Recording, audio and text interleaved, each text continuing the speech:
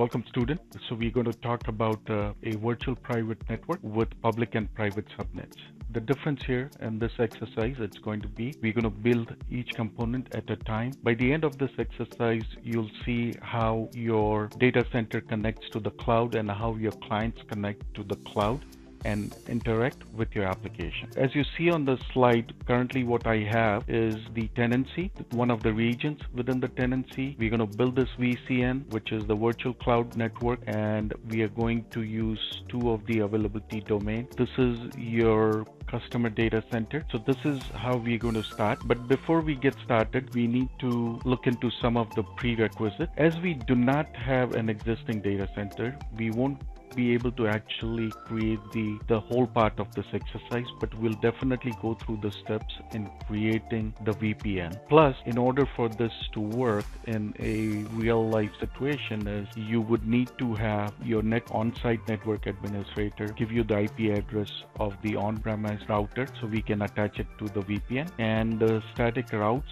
for your on-prem network. So we are making an assumption you have those details and now we're going to start building the cloud in uh, OCI. So doing that, we'll start with the VPN. So it's simple, only difference here uh, when you create the VPN in the past, added the resources when we created the VPN, we generally add uh, more details like subnets, but uh, at this time, the option you would select is create virtual cloud network only. Then we can later on add components manually so we can walk through this whole process. Uh, once this is created, we will go ahead and create an internet gateway. Uh, so again, we are going to create this in the same compartment where you created the virtual cloud network. So everything is going to be in the same compartment. Uh, so we are going to keep this VCN in a single compartment. Then we are going to add two route tables. The reason there are going to be two route tables is uh, one is for your private subnet. The other one is going to be for your public subnet here. So there would be two route tables. You will as you see so there will be two. One is the private subnet and the second one is going to be a public subnet route table. So this is uh, going to be a two public subnets in two different availability domains so this route table basically will have the public route table will connect to the internet gateway here. So that route table is for the internet gateway as the target. So everything coming from outside the cloud, the internet will hit the internet gateway. And the second route table is the private subnet. Route table is for the private subnet, which you'll see later on, which is added here. So basically this is going to be connecting your on-prem data. So you're going to connect your on-prem from here and uh, cloud is com coming through the internet gateway. Uh, it'll make more sense once you uh, once you see the whole slide completed. Things we have to keep in mind when we create the route table for the public route table, which is here, uh, we have to make sure the the CIDR destination block is 0.0.0.0 slash 0 which means all that all non-intra VCN so internal VCN non-VCN traffic that is not already covered by other rules which are going to be rules which are part of the cloud network we just created will go to the target will go exactly to the internet gateway so the private subnet uh, route table, we are going to target that for the uh, DRG. Uh, so once we add that, once we have the VPN ready, we are going to update that step. So for now, uh, for private route tables, uh, we are going to create the uh, route table for now, but update it like we remember uh, creating a VCN. That VCN uh, by default created a security list and a route table. So we are going to modify those uh, default lists.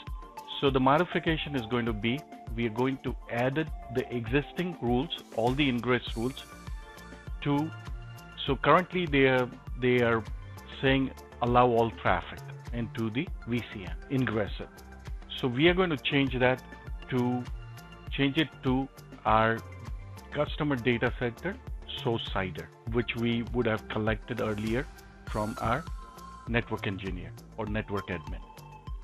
Now, if we plan to use Windows machines to RDP into the VCN, then we need to add one more ingress rule, which would be uh, the RDP, which is uh, 3389 access. So we'll add that rule. Once that is done, we will go ahead and move on to the next step. We are going to create a security list for the public net, public subnets here. So we'll create a security list for that and we will have a private subnet. So we will create the private subnet security list. For each availability domain, we are going to have a public subnet and a private subnet. Public subnet is where your users, your customers are going to connect to and through that the public subnet uh, your web servers are going to connect to the database to get the data same way uh, there are two sets one is for high redundancy so for some reason if your if your this uh, AD goes down the traffic from from your customer will not see an outage but they would be routed here so that is the reason it's got a uh, HA built into it so the first security list is for the public subnet. So the ingress rule to the public subnet, what we are going to see say is the source CIDR, which is the internet uh, 000 forward slash 0 and port 80 and port 443. We are going to have those two ingress rules where we are going to allow traffic from uh, outside. So that is what the we are going to do. But for egress rule, so rules going out for the public subnet is going to be going to the sub, uh, private subnet. So that is the way the traffic coming in will be allowed here. The same query can be sent out to your database to get the data which your customers are looking for. Same way you will have the egress rule. Now, only difference here is it is not going to be port 80 and 443 HTTP and HTTPS, but it is going to be a port meant for uh, Oracle database, which is 1521. Now, again, this can be changed. 1521 is the default port uh, out of the box port, but that can be changed. After we do that, the 1521 we will have those egress rules uh, we are going to create a security list for our private subnet. So now we are going to create a security list for the private subnet. So what it means here, uh, you see all those arrows. So the private subnet, the ingress rule, so the the traffic coming in, pointing in in the green, is is going to be coming from the public subnet 1, public subnet 2, uh, it can uh, come from the private subnet. So basically, it can talk to each other here. And the egress rule, basically, the database will only communicate between to keep both this uh, database in sync. So they need to communicate.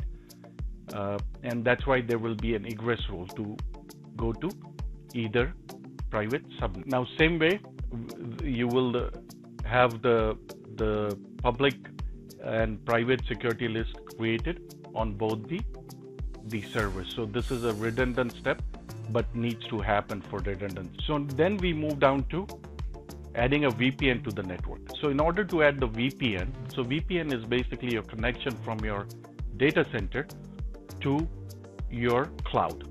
So this is where we add the dynamic routing gateway. So first we will add the customer premise equipment. So we'll go through uh, the steps how to get that added.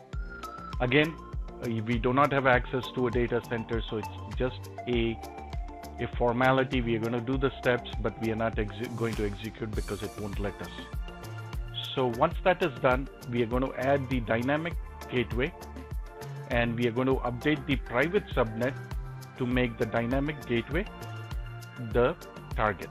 After the dynamic gateway is created, we are going to, so after the dynamic gateway is created, we are going to attach it to the cloud network. This one would be attached to our virtual cloud network.